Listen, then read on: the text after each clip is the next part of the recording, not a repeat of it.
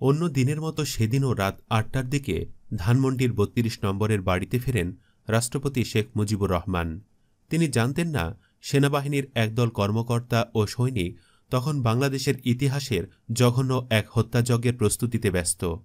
কয়েক ঘণ্টা বাদে নিজের বাড়ির সিঁড়িতে দাঁড়িয়ে ঘাতকদের উদ্দেশ্যে তিনি বলেছিলেন, তোরা কি চাস? কোথায় নিয়ে যাবি আমাকে?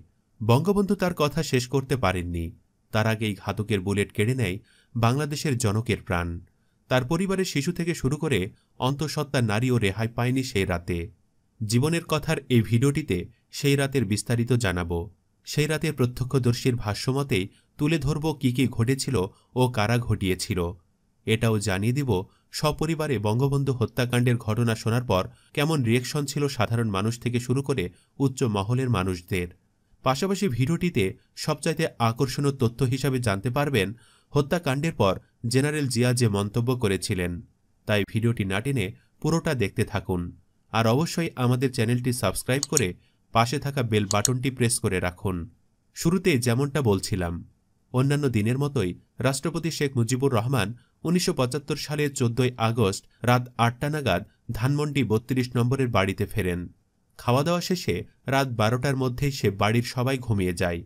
তখন সে বাড়ির নিস্তলায় একটি কক্ষে কর্মরত ছিলেন শেখ মুজিবুর রহমানের ব্যক্তিগত সহকারী A F M Mohitul Islam. রাত তিনটা নাগাদ ঘুমাতে যান মহিতুল ইসলাম। এর কিছুক্ষণ পরে সে বাড়িতে টেলিফোনের দায়িত্বে থাকা ব্যক্তি মহিতুল ইসলামকে ঘুম থেকে ডেকে তোলেন। এ নিয়ে মহিতুল ইসলাম বলেছিলেন, বঙ্গবন্ধু আমাকে বললেন, আব্দুর রব শের নিয়াবাদ সাহেবের বাসায় আমন্ত্রণ করছে। ওই অবস্থায় আমি পুলিশকে টেলিফোনের চেষ্টা করছিলাম। তারপরে বঙ্গবন্ধু উপর থেকে নিচে নেমে এলেন। তখন উনি আমাকে বললেন যে, আমার কাছে দে। আমার কাছ থেকে তিনি রিসিভারটা নিলেন। নিয়ে বললেন যে, হ্যালো, আমি প্রেসিডেন্ট শেখ মুজিব বলছি। উনি একথা বলার সাথে সাথেই বৃষ্টির মতো গুলি আসা শুরু হল।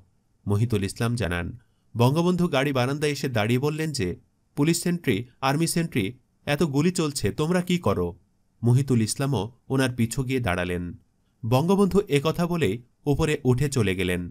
এ গোলাগুলির সময় রাষ্ট্রপতিসহ তার বাড়ির কেউ ঘটনা সম্পর্কে আজ করতে পারেননি। শেখ মুজিবুর রহমানের ছেলে শেখ কামালকে যখন বাড়ির নিস্তলায় গুলি করে হত্যা করা হয়, তখন ঘটনা সম্পর্কে ধারণা পাওয়া যাচ্ছিল বলে জানিয়েছিলেন মহিতুল ইসলাম। ধানমন্ডির সে বাড়িতে সশস্ত্র হত্যাকারীরা প্রথমে হত্যা করে শেখ কামালকে। গোলাগুলির আওয়াজ শোনার পর ঘটনা সম্পর্কে জানতে বাড়ির নিস্তলায় নেমে আসেন শেখ কামাল। পাঁচ ছয়জন আর্মি, কেউ কালো পোশাকধারী, কেউ খাকি পোশাকধারী। ওনার সামনে এসে বলল হ্যান্ডস আপ কামাল ভাই বলছে, আমি প্রেসিডেন্ট শেখ মুজিবের ছেলে শেখ কামাল। তখনই সাথে সাথে ব্রাশ ফায়ার, বলেছিলেন মহিতুল ইসলাম। তারপরই গুলিতে বুক ঝাঁঝরা হয়ে মুখ থুবড়ে মাটিতে লুটিয়ে পড়েন শেখ কামাল। মহিতুল ইসলামের বর্ণনা অনুযায়ী, ধানমন্ডির সেই বাড়িটিতে সর্বশেষ হত্যা করা হয় শেখ মুজিবুর রহমানের ছোট ছেলে শেখ রাসেলকে। তখন তার বয়স মাত্র দশ বছর। এই হত্যাকাণ্ডটি হয়েছিল মহিতুল ইসলামের সামনে। তিনি বলেন রাসেল দৌড়ে এসে আমাকে জাপটে ধরে। আমাকে বলল, ভাইয়া, আমাকে মারবে না তো? ওর সে কণ্ঠ শুনে আমার চোখ ফেটে পানি এসেছিল। এক ঘাতক এসে আমাকে রাইফেলের বাট দিয়ে ভীষণ মারল। আমাকে মারতে দেখে রাসেল আমাকে ছেড়ে দিল। ও কান্নাকাটি করছিল যে, আমি মায়ের কাছে যাব, আমি মায়ের কাছে যাব। এক ঘাতক এসে ওকে বলল, চল, তোর মায়ের কাছে দিয়ে আসি। বিশ্বাস করতে পারিনি যে, ঘাতকরা এত নির্মমভাবে ছোট্ট সে শিশুটাকেও হত্যা করবে। রাসেলকে ভেতরে নিয়ে গেল এবং তারপর ব্রাশ ফায়ার।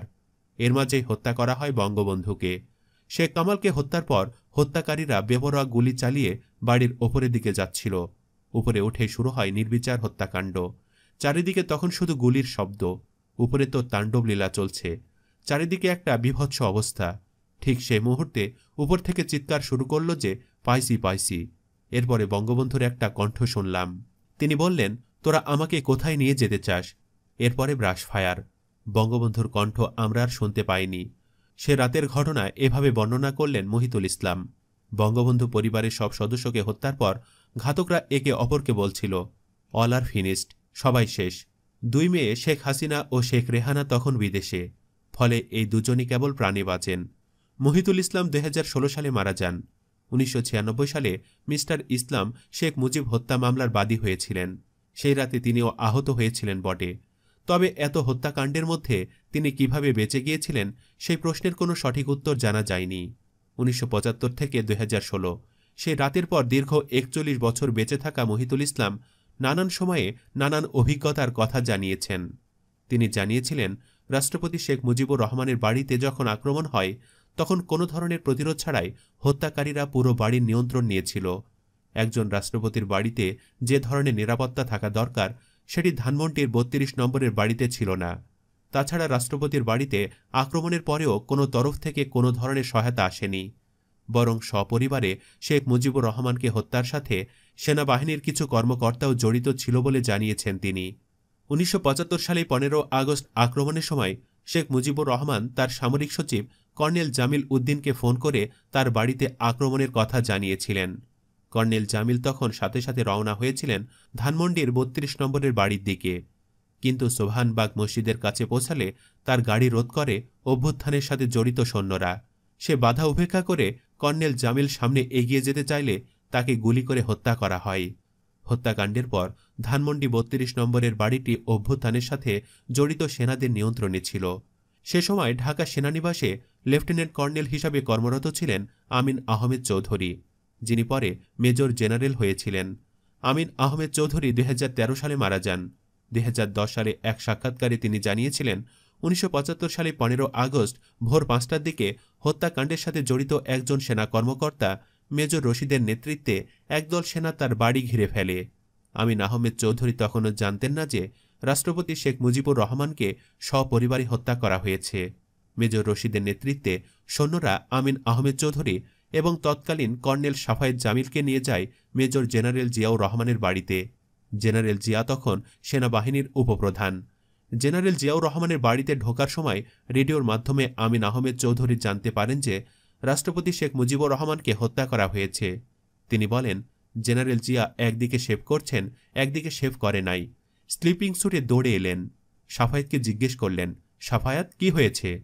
সাফায়াত বললেন অ্যাপারেন্টলি দুই ব্যাটালিয়ন টেস্ট একু। বাহিরে কি হয়েছে এখনও আমরা কিছু জানি না। রেডিওতে অ্যানাউন্সমেন্ট শুনতেছি প্রেসিডেন্ট মারা গেছেন। তখন জেনারেল জিয়া বললেন so what let vice president take over we have nothing to do with politics সেনাবাহিনীর দুটি ব্যাটালিয়ন ও অভ্যুত্থানের সাথে জড়িত থাকলেও পুরো সেনাবাহিনী সেটার পক্ষে ছিল না বলে উল্লেখ করেন আমিন আহমেদ চৌধুরী। ঢাকা সেনানিবাসে যখন এ অভ্যুত্থানের খবর ছড়িয়েছে, তখন অনেক দেরি হয়ে গেছে। এ অভ্যুত্থান পরিকল্পনার খবর কেন আগে জানা সম্ভব হয়নি এবং কেন সেনাবাহিনীর অন্য কোনো ইউনিট এগিয়ে আসেনি, সেটি আজও এক বিরাট প্রশ্ন।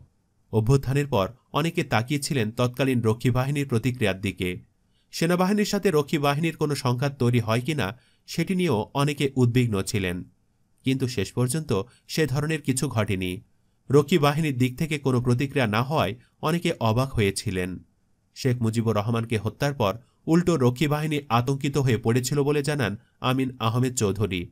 আমিন আহমেদ চৌধুরীর দায়িত্ব ছিল রক্ষী বাহিনী যাতে আতঙ্কগ্রস্ত না হয়, সে বার্তা তাদের কাছে পৌঁছে দেওয়া। তাই তিনি সেখানে গিয়ে বলেন যে, সেনাবাহিনীর কিছু লোক হত্যাকাণ্ডের সাথে জড়িত থাকলেও পুরো সেনাবাহিনী এর সাথে জড়িত নয়। হত্যাকাণ্ডের পর তৎকালীন আওয়ামী লীগের একজন সিনিয়র নেতা এবং মন্ত্রী পরিষদের সদস্য খন্দকার মোস্তাক আহমেদ রাষ্ট্রপতির দায়িত্ব নেন। সামগ্রিকভাবে পনেরো আগস্ট সারাদিন সেনাবাহিনীর ভেতর থেকে হত্যাকাণ্ডের সাথে জড়িত সামরিক কর্মকর্তাদের বিরুদ্ধে কোনো পদক্ষেপ দেখা যায়নি। সুপ্রিয় দর্শক, এত বড় একটা হত্যাকাণ্ডের পরও চারিদিকে এই যে নিরবতা, এই নিরবতার পেছনের কারণ কী ছিল বলে আপনার মনে হয়? এ বিষয়ে আপনার কোনো ধারণা থাকলে ভিডিওটির কমেন্ট বক্সে জানাতে পারেন। অনুরোধ রাখছি, না জেনে কেউ কোনো অযাচিত মন্তব্য করবেন না। আর আমাদের এই ভিডিওটির পুরো আলোচনার কোনো একটা অংশও আমাদের নিজেদের নয়। পুরোটাই জেনারেল আমিন আহমেদ চৌধুরী ও বঙ্গবন্ধুর ব্যক্তিগত সহকারী এ এফ এম মহিতুল ইসলামের সাক্ষাৎকারের পরিপ্রেক্ষিতে। ভিডিওটি ভালো লেগে থাকলে একটি লাইক ও যত বেশি সম্ভব শেয়ার করতে পারেন। না চাইলে এড়িয়েও যেতে পারেন। ধন্যবাদ এতক্ষণ ধরে আমাদের সাথে থাকার জন্য।